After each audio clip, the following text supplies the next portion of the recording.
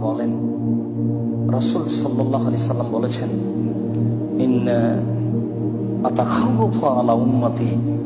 আমার উম্মতের উপরে আমি তিনটা বিষয়ে ভয় করি। আমার উম্মতের উপরে আমি তিনটা বিষয়ে ভয় করি। এক আহিম্মাতাম মুসিল্লিন ভ্রান্ত হুজুর। হুজুর হবেন ভ্রান্ত, এটাই আমার ভয়। এটাই আমার ভয়। যে হুজুর দিয়ে শির চালু হবে শির। হুজুর দিয়ে বেদাত চালু হবে।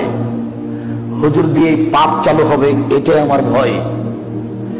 হুজুরের ব্যাপারে আল্লাহর নবী যত কঠিন কথা বলেছেন, আর কোন পাপির ব্যাপারে এত কঠিন কথা বলেছেন, তা আমার জানা নেই।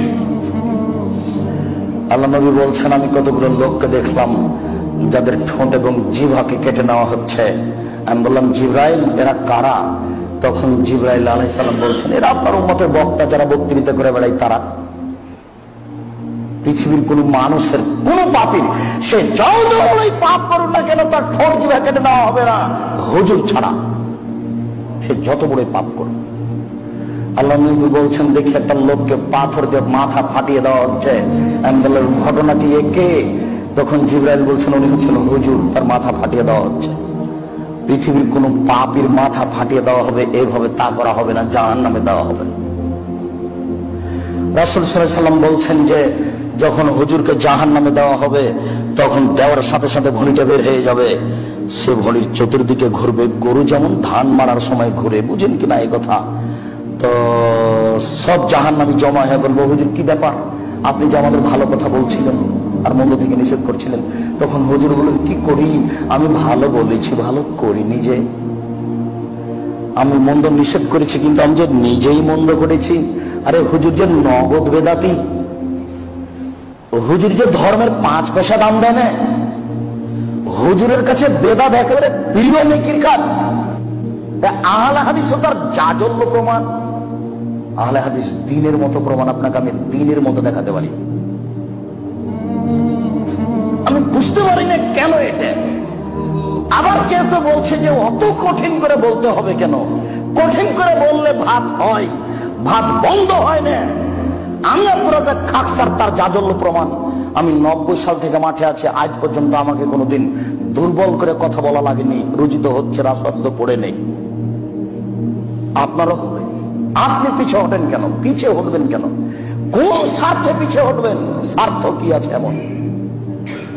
হুজুর বলেছে, করেনি এই জন্য এখানে। সম্মানিত মসজিদের মুসল্লি, আল্লাহ রসুল বলছেন, আমার পরে কতগুলি হুজুর আসবে? ওদেরকে ওরা আমার সোননাথকে বাদ দিয়ে অন্য সোননাথ চালু করে বলবে, এটা নবীর সোননাথ এই কথাটাকে আপনি কি মনে করেন? হাদিস তো বোখারি, মুসলিমের। আমার সোননাথকে বাদ দিয়ে আর চালু করে বলবে, এটা রাসুলের সোননাথ যেমন আপনাদের ওই কবরস্থানে গিয়ে সবাই মিলে হাত তুলে দোয়া করা। এই মসজিদও অনেক বেদাত আছে, সব বন্ধ হয়ে যায়, এটাই চাচ্ছি। আপনারা সাহেব, আমাদের কি কিছু বলতে চাইলেন না, আমি বলতে চাচ্ছি না। তবে যা হচ্ছে, তা ছেড়ে দেওয়ার জন্য আন্তরিকভাবে অনুরোধ করছি, আপনি ছেড়ে দিতে বাধ্য। কাউকে বলা লাগবে না, কে মানছে, কে মানে এটা দেখা পরে আল্লাহ রাসুল বলছেন, ওই আলেম, ওকে দেখতে লাগে মানুষ, ওর অন্তর হলো শয়তানের অন্তর। ইনসিল। ওকে দেখতে লাগে অন্তর। ওর অন্তর হলো ওকে দেখতে লাগে মানুষ। ওর অন্তর হলো শয়তানের অন্তর। ওকে দেখতে লাগে মানুষ। ওর অন্তর হলো শয়তানের অন্তর, বোখারি মুসলিম। কি দিয়ে বুঝায় আপনাকে? এত বড় কঠিন কথা পৃথিবীর কোন পাপিকে আল্লাহ নবী বলেননি। জেনা করল বলেননি, চুরি করল বলেননি, শির করল বলেননি। আল্লাহ নবী বলছেন, হুজুরকে দেখতে লাগে মানুষ। হুজুরের অন্তর শয়তানের অন্তর কি বুঝলেন বোখারি মুসলিমের। তিন শ্রেণির মানুষ নাম চালু হবে উদ্বোধন, তার এক শ্রেণির মানুষ হলো হুজুর। আমার জীবনে বড় ভয়, তিন শ্রেণির মানুষ নিয়ে এক ভ্রান্ত হুজুর। দুই আমার মতে হিন্দুদের সাথে মিশে যাবে, এটা আমার ভয়। বৈশাখের হিসাব হিন্দুদের, মুসলমানের নয়। আমার জীবনে বড় ভয়, আমার উম্মাদ হিন্দুদের সাথে মিশে যাবে, এইটা আমার ভয়। আমি অনুবাদক। আমি উনিশও করিনি, আমি বিশও করিনি। সাড়ে চোদ্দশো বছর পূর্বে মোহাম্মদ সাল্লাহ সাল্লাম যা বলেছেন, আপনাকে তা আমি অনুবাদ করে শোনালাম। আমার জীবনে বড় ভয়, আমার উম্মাদ হিন্দুদের সাথে মিশে যাবে। তিন আওসান আমার উম্মত মূর্তি পূজা করবে। আমার উম্মত মূর্তি পূজা করবে। আপনার বাড়িতে মূর ছবি, মূর্তি আছে, আমি তার সাক্ষী। আপনি এই মসজিদের মুসল্লি? এখন আমি সাক্ষী।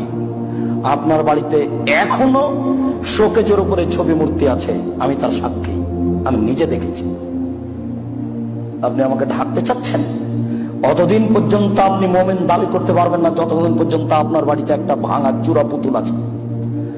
এইখানে দাঁড়িয়ে আপনাকে আমি শতদিন বলেছি, ওই মাছের আকৃতিতে যাই আয়না আছে যেটা সাফ করে কিনেছেন। ওই আয়নাটাকে স্বাভাবিক ভাঙলে ভাঙলে হবে না, আয়নাটা ফেলে দিতে হবে লাথি দিয়ে করতে হবে, গুড়ে দিতে হবে। আয়না তোকে লাথি দিয়ে গোড়াই আমি এভাবে গুঁড়ে দিতে হবে।